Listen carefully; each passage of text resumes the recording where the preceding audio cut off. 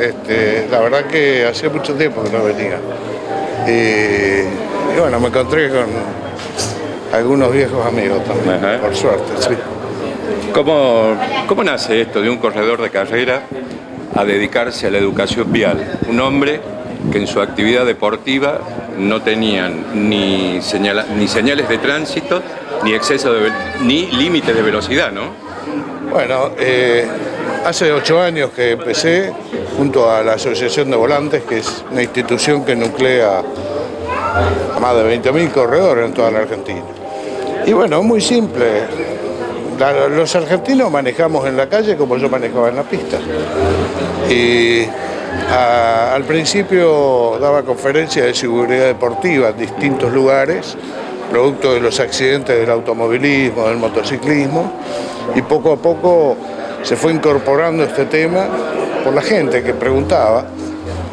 Y, bueno, la experiencia del automovilismo me permite a mí hablar, no digo de seguridad vial técnica, que si bien conozco y puedo responder todas las preguntas, lo hago desde el punto de vista conciencia, hablo de por qué hacemos lo que hacemos, si sabemos perfectamente eh, cómo se conduce. Y bueno, conducimos mal, esta es la realidad.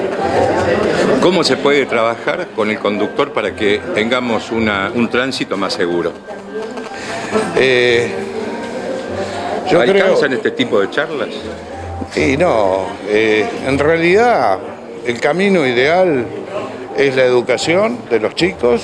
No, no, no podemos castigarlos este, cuando no los educamos. O sea, el camino correcto es- la educación de los chicos. Y, a- y la gente de mi edad es un sistema que castigue a quien comete las infracciones como corresponde. Que los castigue desde una multa simple hasta quitarle el registro. No hay otra. Eh, quitar un registro significa que acá en Argentina quitamos el registro, me voy al pueblo del lado y Eh, lo bueno. vuelvo a tener, ¿no? Eh, cada vez va a ser más difícil. Yo reconozco que es así. Fue así, sigue siendo, pero poco a poco se va ordenando. La Agencia Nacional de Seguridad Vial trabaja en todos estos temas, pero apenas hace tres años. Y esto, si vamos a ver alguna solución, la vamos a ver dentro de mucho tiempo. No es un problema que tenga una solución inmediata. Sigue recorriendo el país este, con este tipo de, de charlas. Sí, sí, ando por, por todo el país. Este, de ayer estuve en Pergamino, provincia de Buenos Aires. Este, después estuve en Tostado, provincia de Santa Fe, dos días antes.